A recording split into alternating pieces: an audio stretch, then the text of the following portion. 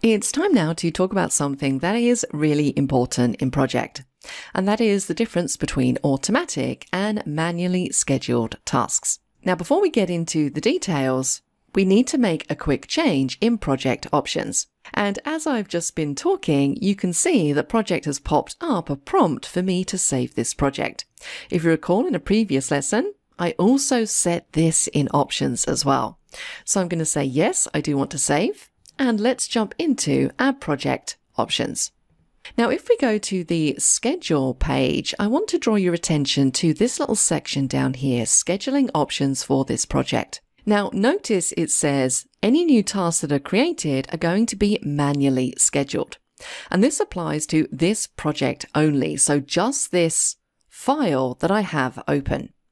And if you take a look just behind this window in the status bar, you can see right at the bottom it says new tasks manually scheduled. Now I want to change this so that every task I schedule is auto scheduled across all of the projects that I create. So I'm going to go in and I'm going to change this because what I want to happen here is that for all new projects, I want them to be auto scheduled by default. So I'm going to change it in my options, click on OK, and it's not going to switch this project to automatically schedule new tasks by default. I need to manually change that at the bottom.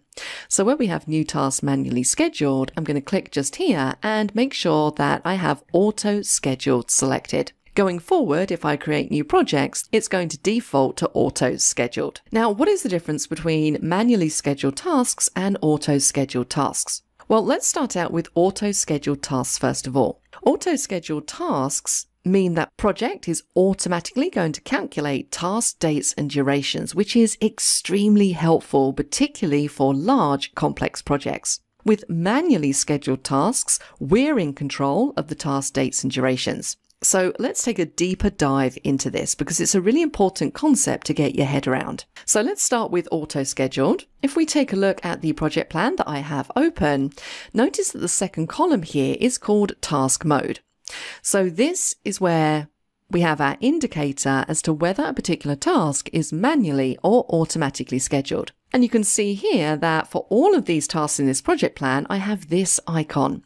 And this icon tells me that this particular task is automatically scheduled. That is the task mode. So let's pick a task in this list. I'm going to go for task number 12 just here. You can see that the duration of this task is three days. The start date is October the 7th and the finish date is October the 11th. So when I added this task in and I set the duration to three days and I also set the start date, Project automatically calculated what that finish date is going to be based on the duration and the start date. And of course, it's going to take into account things like weekends and non-working days. So project effectively defines for me when this task is going to finish. Now, the benefits of automatically scheduled tasks really present themselves when we're looking at linked tasks. So for example, we're still looking at task 12. And if we take a look at the bars on the right hand side, we can see this blue bar here represents the length of this particular task,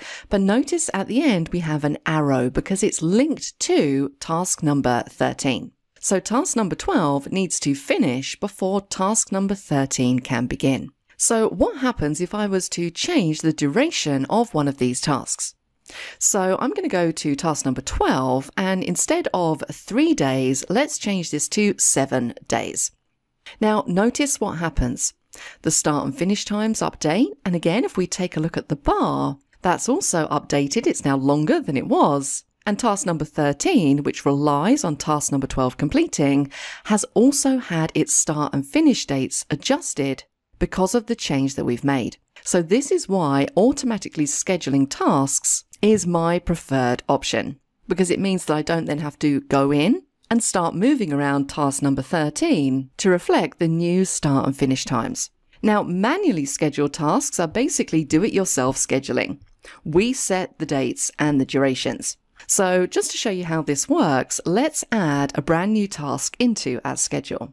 So, I'm going to click task number 15 and I'm going to insert a new task above this task. Now there are a few different ways you can insert tasks. I'm going to right click and then from the contextual menu, I'm going to choose insert task. So now we have this new task up here. Notice that it's by default on the same indentation level as the ones above, and we're going to talk more about that in a later lesson. And it's automatically inserted it as an automatically scheduled task. Take a look at the icon in the task mode column. Now I'm going to change this to a manually scheduled task. So to change individual tasks, we don't want to change them all, we can click in the task mode, click the drop down and switch it from auto to manually scheduled. Now notice the different icon that we get just there. We get this little drawing pin or push pin icon. So that is how you can tell which tasks are manually scheduled and which ones are automatically scheduled. Also notice in the duration, we have one day question mark. And that's because we haven't defined start and finish dates for this task as yet. So project doesn't really know, so it's put in the default of one day, and it's presenting a question mark because there's unknown information. So let's rename this task. I'm going to call this, I'm going to say finalize market research results, press the tab key, and I'm going to set a duration. So I'm going to set this to two days. Now notice the start date just here. It's showing as September the 30th, 2022.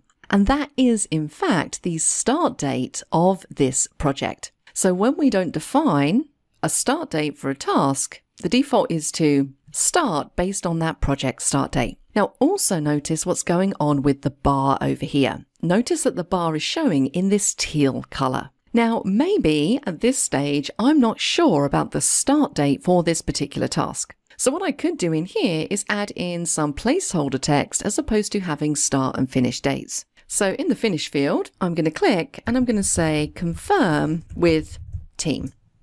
Now notice that it's been shaded out. The bar is now also a lot shorter because we don't have a finish date, we only have a start date. And check out what's happened to the icon in the task mode column. We now have a question mark in there because the finish date is effectively unknown at this stage. And this is a really good reminder for me when I'm looking through my project plan. I can see these highlighted areas, these placeholders, so that I know that I have some action to take. I need to confirm the market research results with the manager. And together we can work out how long this task might possibly take. Once we have that information, we can just go back into the schedule and add it in. So I'm going to say that it's been confirmed with the manager that this task needs to start on October the 20th 2022. The duration is two days, so the finish date is going to be December the 21st. Notice the bar now has these dark green caps on either end, so that just means that we have a defined start and finish date for this manually scheduled task. Also notice that the question mark has disappeared from the push pin icon because we've entered in the duration, the start and the finish date. What was your favorite part of this tutorial? We would love to hear your thoughts in the comments. Visit the Simon Sez IT channel, explore our videos and training sessions, and decide what you want to learn next.